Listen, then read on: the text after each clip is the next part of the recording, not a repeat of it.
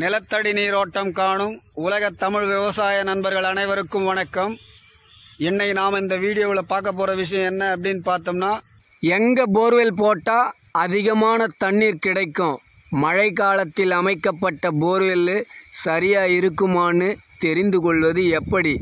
இப்படி இரண்டு விஷயங்களையும் இந்த வீடியோவில் இப்போ நாம் தெளிவாக பார்க்கலாம். வாங்க. அதுக்கு முன்னாடி நமது உங்கள் தோட்டம் உங்கள் தண்ணீர் சேனலை மறக்காமல் சப்ஸ்கிரைபர் பண்ணிக்கங்க. வாங்க வீடியோக்குள்ளே போகலாம். இப்போ நாம் இருக்கிறது வந்து நாராயணபுரத்தோட ஏரி பகுதி. இதை பாருங்கள் இந்த இடத்துல இருக்கிறது பனைமரம் இந்த பனைமரத்தானிருந்து இப்படியே சுமார் ஒரு குறிப்பிட்ட அகலத்தில் ஒரு இருபத்தஞ்சு அடி அகலத்தில் ஒரு சரம் போயிட்டுருக்குது. இதை நாம் ஏற்கனவே வீடியோக்களில் பார்த்துருக்குறோம். இந்த சரம் பார்த்திங்கன்னா கற்கள்லாம் வந்து மேலேயே தெரியுதுன்னு சொல்லிட்டு நம்ம பார்த்துருக்குறோம் ஏற்கனவே வந்து. அதாவது ஒரு நூறு அடியிலே நல்ல இடுக்குகள் இருக்கக்கூடிய கற்கள் வந்து இருக்குது அப்படின்னு சொல்லிட்டு. அதாவது போல்டர்ஸ் கல் அதை தான் வந்து நீர்ப்பாறை மென்மைப்பாறைன்னு சொல்லுவாங்க. இது வந்து பாருங்கள் ஒரு சின்ன பள்ளத்தாக்கு இருக்குது இது வந்து தற்காலிகமாக எடுக்கப்பட்டது. அது வந்து ஏற்கனவே இருந்தது நிரந்தரமாக இதில் பாருங்கள் இங்கே வந்து முரம்பு மண் இருக்குது பாருங்கள் இந்த வெள்ளை கலரில் இருக்கிறது. சரம் வந்து பார்த்திங்கன்னா இங்கிருந்து தான் அது வந்து இருபத்தஞ்சு அடி அகலத்தில் அப்படி மேற்கு நோக்கி ஓடிட்டுருக்குது. இந்த கிழக்கு பகுதியில் இருந்து அதில் பாருங்கள் இதில் பாருங்கள் என்ன வித்தியாசங்கிறத முதல்ல தெரிஞ்சுங்க. அதாவது இந்த இடத்துல பாருங்கள் வெறும் முரம்பு மண்ணே சுமார் ஒரு இரு நூற்றி இருபது அடி ஆழம் வரையும் கூட ஒரு சில பூமியில் போகும் பார்த்துருப்பீங்க. ஒரு சில பூமியில் அறுபது அடி தான் இருக்கும். வெறும் உரம்பு மண் இந்த மாதிரி மண் போயிட்டு அதுக்கப்புறம் என்ன ஆகுன்னு பார்த்தீங்கன்னா அந்த மண் அப்படியே கொஞ்சம் கொஞ்சமாக ஸ்ட்ராங் ஆகி பாறையாக மாறும். இதை நல்லா கவனிச்சிங்க பாறையாக மாறும். அதே அந்த இடத்துல பாருங்கள் அந்த சரம் சொல்லியிருக்கேன் அதில் முரம்பு மண் இருக்கும். இந்த நீர்ப்பாறைகள்னு சொல்லக்கூடிய அந்த போல்டர்ஸ் கல் அதாவது வந்து மலைக்குன்று மாதிரி தான் இருக்கும். ஆனால் மலைக்குன்று வேற இந்த கற்கள் வேற. இது வந்து கலந்து இருக்கும். ஒரு நாற்பது ஐம்பது அறுபது அடி போச்சுனாவே கல்லாக வெளியேறும். மேலவும் அந்த கல் இருக்கும். இந்த மாதிரி இடத்துல மேலவே அது ஓடிட்டுருக்கும் ஒரு சில இடங்களில் வந்து உட்பகுதியில் தான் கிடைக்கும்.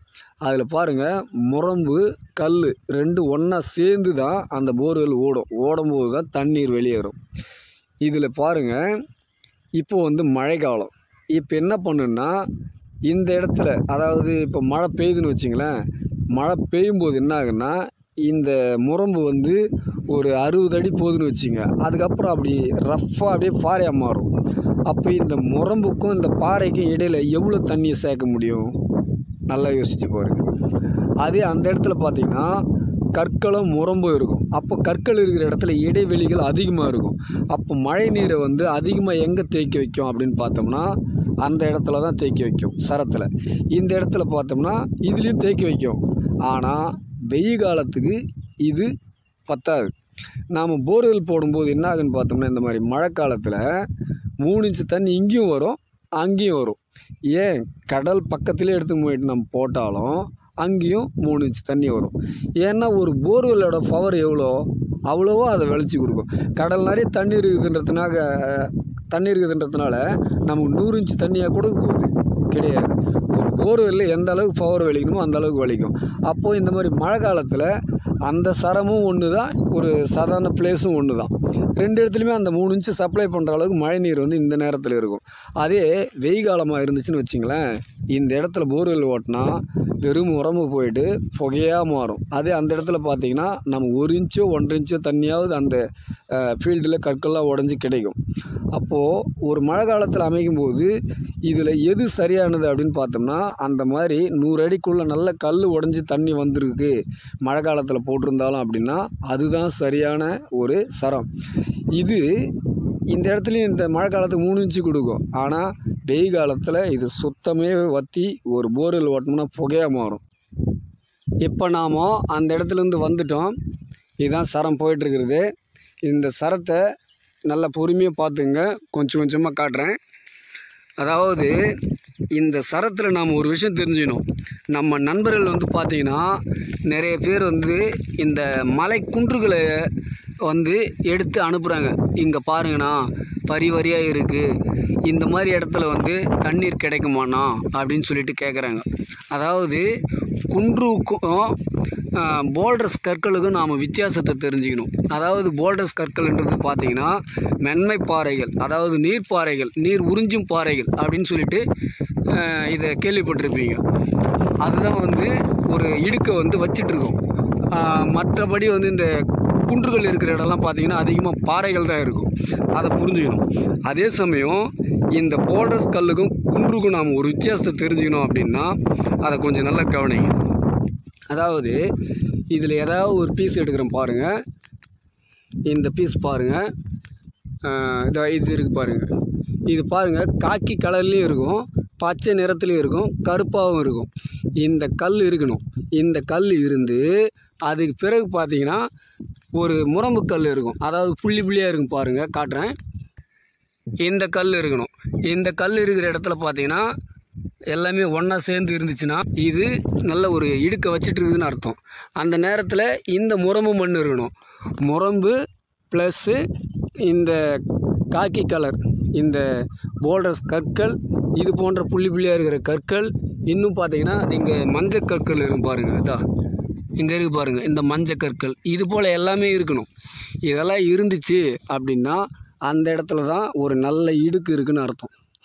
இப்போது இதே இடத்துல இந்த காக்கி கலர் கல் இருக்கிற இடத்துல ஒரு குன்று இருக்குது. அதையும் காட்டுறேன் பாருங்கள் இங்கே வாங்க.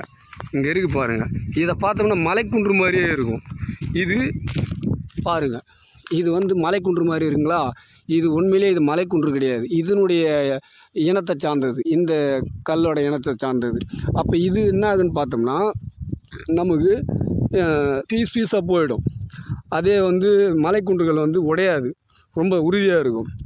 அப்போது இந்த மாதிரி கற்களை வந்து நம்ம அடையாளம் தெரிஞ்சுக்கணும். இதை தெரிஞ்சுக்கிட்டு நம்ம அனுபவத்தை வளர்க்கணும். இதில் பாருங்கள் இந்த சரம் வந்து நல்லா அப்படியே உள்ள முத்து முத்தாக இருக்குது பாருங்கள் மண்ணில் அப்படியே புதஞ்சு கிடக்குது பாருங்கள் இது வந்து நல்லா தெளிவாகவே இருக்குது இப்போது பாருங்கள் இது வந்து நேராக போயிட்டுருக்குது அது வரைக்கும் போயிட்டுருக்குது அங்கே பாருங்கள் தண்ணியோடு அப்படியே இந்த கல்லுங்கள்லாம் இருக்கிறதுனால என்ன ஆகுதுன்னு பார்த்தோம்னா பூமிக்கடியிலையும் இந்த மாதிரி தான் வந்து தண்ணீரும் கல்லும் உட்பகுதியில் இருக்கும். இதில் தான் நம்ம ட்ரில் பண்ணும்போது அப்படியே தேவைக்கு அதிகமாக வந்து தண்ணி வந்து வெளியேறி வர்றது. இதையெல்லாம் நாம் புரிஞ்சுக்கணும். இது வந்து நான் வந்து ஜியாலஜிஸ்ட் முடிச்சுட்டு வந்து உங்களுக்கு நான் எடுத்து சொல்லலை. இல்லை வேறு யாராச்சும் எனக்கு சொல்லித்தரல என்னுடைய அனுபவத்தை உங்களுக்கு நான் சொல்லித்தரேன் விளக்குறேன். இதில் என் பக்கம் இருக்கிற ஒரு உண்மையை நீங்கள் தெரிஞ்சுக்கிங்க. அதாவது இவர் நீரோட்டத்தை பற்றி நல்லா பேசுகிறாரு நல்லா விளக்குறாருன்னு சொல்லிட்டு ஏமாற்றம் தான் மிச்சம் அப்படின்னு சொல்லிட்டும் ஒரு கமாண்ட் வந்திருக்குது. அதே போல் இன்னொரு கமாண்ட் பார்த்தீங்கன்னா இவர் வாயிலே வடை சுடுறாரு அப்படின்னு சொல்லிட்டும் வந்திருக்குது. இதில் நாம் சிந்திக்க வேண்டியது என்னன்னு பாருங்கள் சேனலில் இருக்கிற வீடியோவை பாருங்கள் எல்லாமே விவசாயிங்க கிட்ட அங்கங்கே போய் கேட்டால் தெரியும். அதாவது இது எல்லாமே வாயில் சுட்ட வடை கிடையாது. என்னுடைய ஆஹ், விடாமுயற்சியிலையும் கடுமையான போராட்டத்திலையும் எல்லாமே சக்ஸஸ் பண்ண பாயிண்ட்டு அதுவும் எத்தனை அடியில் தண்ணீர் கிடைக்கும் என்ன கல் வரும்னு சொல்லிட்டு. எனக்கும் வந்து பாயிண்ட் ஃபெயிலியர் ஆகிருக்கு நான் எப்போவுமே இல்லைன்னு சொல்ல மாட்டேன். ஆனால் அதுக்காக இதெல்லாம் வந்து சாத்தியம் இல்லை. இந்த மாதிரியெல்லாம் வந்து இவர் வாயில் தான் சொல்லிட்டு இருக்கிறாருன்றதுலாம் கிடையாது. பார்த்தா தெரியும் உங்களுக்கு. ரெண்டு வீடியோ டரராக இருந்திருக்கும். அதில் வந்து மிஷினில் பார்க்குறவங்களும் சரி என்னை போல் தேங்காயில் பார்க்குற டிவைனர்களும் சரி கொஞ்சம் கடுப்பாக இருக்கிற மாதிரி கூட தெரிஞ்சிருக்கும். ஆனால் உண்மை என்னங்கிறது விவசாயிகளுக்கும் சரி டிவைனர்களும் சரி போக போக வந்து இந்த ஏழுமலையோட வாசம் புரியும். ஒரு காலத்தில் கடுமையான வறட்சி வரும். அன்னைக்கு ஒரு சொட்டு தண்ணீர் அடையாளம் காட்டுறதுக்கு யாராவது தெரிவாங்களான்னு யோசிப்பாங்க. அன்னைக்கு என்னுடைய டெக்னிக்கும் நிறைய பேர் மக்களுக்கு வந்து பயன்படும். இதை இன்னொரு விஷயத்த சொல்கிறேன் சினிமாவில் ஒரு சாங் கேட்குறோம் ஒரு யூடியூப்பில் கூட அதை நம்ம அருமைன்னு போட்டு தான் நமக்கு பழகிறப்போம். சூப்பர்னு போட்டு பழகிறப்போம். ஆனால் கொஞ்சமாவது யோசிக்கணும். குடிக்க தண்ணீர் எடுக்கிற துறையில் அவருக்கு தெரிஞ்ச அனுபவத்தை சொல்கிறாரு அதை உற்சாகப்படுத்தலான்னு யாரும் யோசிக்க மாட்டாங்க. அதுக்கு குறை சொல்கிறதுக்கும் ஏமாத்துக்காரரும் அப்படிங்கிறத மட்டும்தான் சொல்கிறதுக்கு இன்றைக்கி நிறைய பேர் இருக்கிறாங்க. அதாவது ஏமாத்துன்னு யாரும் நீரோட்டம் பார்க்க மாட்டாங்க.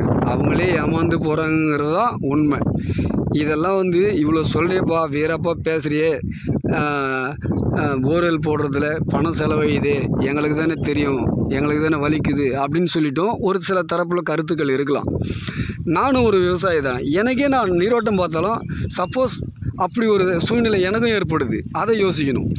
அதாவது உண்மையை புரிஞ்சுக்கணும். இப்போது மிஷினு நமக்கு தெளிவாக இருந்துச்சுன்னு வச்சிங்களேன் தேங்காயில் பார்க்குற அவசியமே நமக்கு கிடையாது. விட்டுட்டு போகிறோம் அதே தேங்காயில் பார்க்குறதுலையும் பார்த்தோம்னா நல்லா பார்க்குறவங்க யாராவது இருக்கிறாங்களான்றது தான் நம்ம யோசிக்க முடியும். மிஷின்லேயும் நல்லா பார்க்குறவங்க யாராவது இருக்கிறாங்களான்னு யோசிக்க முடியும். ரெண்டு தரப்புலையுமே ஃபெயிலியர்ஸ் இருக்குது யார் இதுக்கு நமக்கு தீர்வு காண போகிறது கிடையாது. அப்போது முடிஞ்ச வரைக்கும் யார் அதிகமாக வந்து தற்போது ட்ரெண்டிங்கில் சக்ஸஸ் பண்ணிட்டு போயிட்டுருக்காங்களோ அவங்கள வச்சு ஃபாலோ பண்ணிட்டு போக வேண்டியது தான் அதிகமாக யார் சக்ஸஸ் பண்ணுறாங்கன்றத பார்க்க வேண்டியது தான் இப்போ கிரிக்கெட்டில் கூட தான் அதிகமாக ஒருத்தர் ரன் அடிக்கிறாருன்னா அவர் நல்ல ஃபார்மில் இருந்தால் தான் அடிக்க முடியும். அப்போ தொடர் சீரீஸில் எப்படி அவர் வந்து நல்ல ஃபார்மில் இருக்கிறாரோ அவரை கொண்டு நம்ம ரன் சேர்க்க முடியும். அதே போல் தான் நம்ம அவரை கொண்டு நம்ம தண்ணியை வந்து அடையாளம் கண்டுக்க முடியும். இதையெல்லாம் எடுத்து சொல்கிறதுனால வந்து நான் பொல்லாப்பு தான் தேடிட்டு போகிறோங்கிறது எல்லோரும் ஒரு சில நண்பர்களுக்கு தெரிஞ்ச விஷயந்தான் என்னோட தொடர்பில் இருக்கிற நண்பர்களுக்கும் தெரியும். ஆனாலும் நாம் கூட்டாக நின்று பார்க்கும்போது எதிர்க்கு நின்றுட்டா நீ போர் வீரன் இந்த பக்கம் நான் போர் வீரன் நீ அந்த படம் நான் இந்த படம்னு என் கூட பழகி பார்த்தா தான் தெரியும் இருக்கிற உண்மை என்னன்னு சொல்லிட்டு. ஏன்னா இன்னைக்கு பாருங்கள் நிறைய பேர் ஊமையாயிட்டு இருக்குது அதாவது டிவைனருக்கு ஊமையாகிட்டு இருக்கிறதுக்கு என்ன காரணம்னா அதிகமாக தைரியமாக எடுத்து சொல்ல முடியாததுக்கு. ஏதாவது ஒன்றுன்னா ஏதாவது கேட்குறாங்களேன்னு சொல்லிட்டு தான் வீடியோ கூட ஊமப்படம் மாதிரி போட்டுட்டு இருக்கிறாங்க பார்த்துருப்பீங்க. ஏன்? நான் என்ன சொல்கிறேன்னா ஒரு இடத்துல பாயிண்ட் வைக்கிறோம். இவங்களுக்கு தான் வைக்கிறோம். இந்த இடத்துல தான் வைக்கிறோன்னு தெரிஞ்சாதான் அவங்கள வந்து கூப்பிட்டு விவசாயிங்க அதில் இருக்கிற உண்மை தன்மையை தெரிஞ்சுக்கிட்டு பயன்படுத்த முடியும். எதுவுமே தெரியாத வீடியோ போட்டுருக்குறாங்கன்னு வச்சுங்களேன் இப்போ நானே எதையும் பேசாத வாய் ஊமையாக வச்சுக்கிட்டு நீரோட்டத்தை பற்றி விளக்காமல் நீரோட்டத்தை பற்றி எதுவுமே சொல்லாமல் நான் இருந்து ஒரு வீடியோ போடுறேன்னு வச்சுங்களேன் நேராக ஒரு பாயிண்ட் ஓடி இருக்கும். அது எங்கே ஓடி இருக்குன்னு கூட தெரியாது. ஏன்னா நான் பேசக்கூடாதுல்ல? அப்படியே போட்டேன்னா அந்த வீடியோவில் உண்மை எது நான் பொய் எதுன்னு தெரியுமா? வயலு போகிற வீடியோ கூட தான் பிடிச்சாந்து போட்டுருவேன். அப்போ மக்களுக்கு எப்படி தெரியும்?